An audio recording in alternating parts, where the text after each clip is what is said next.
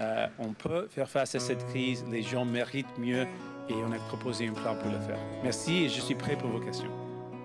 Thank you so much and I'm ready for your questions. Nous allons maintenant prendre les questions, commençant par les questions au téléphone. Un petit rappel, comme d'habitude, une question, une question suivie. We'll now take questions, starting with questions on the phone. Quick reminder, as usual, one question, Take one me follow-up. for a walk Operator, in we have the first question? We've got Thomas Laberge from Radio Canada asking the first question. I'd like to speak with you about the firearm bill proposed by the government. I want to know if the new Democratic Party plans to vote in favor of the proposed bill that will be tabled by the Liberals. Thanks for the question. So we will evaluate the law. It's today that the government proposed this bill, and we're evaluating the bill. In general, what I want to say is we have a big problem throughout the country with um, assaults perpetrated by people who own firearms.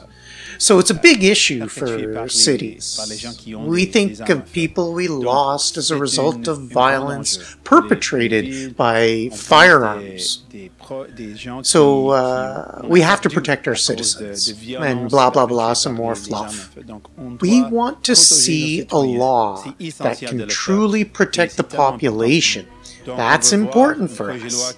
So we want to evaluate. But we're in total agreement with the idea of protecting people and answer to the need to have more control to protect people. Like all of the lawyers, like all of the experts in this file have been demanding for many years. So we're ready to evaluate the bill and take euh, our decision. Euh, like, they don't plan to make their euh, decision themselves. They plan to take the decision that's already been planned and prepared for them in advance by their script writers.